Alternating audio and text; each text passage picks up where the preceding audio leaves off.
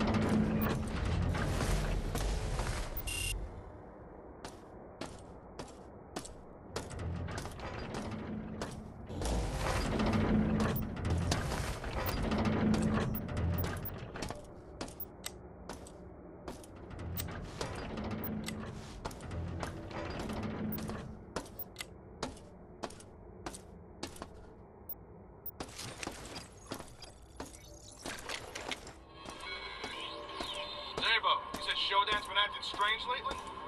Add this to your tally. You got bots refilling the storage rooms for no reason. Storage room 5 looks like a puzzle from hell. They've installed propulsion lifts everywhere.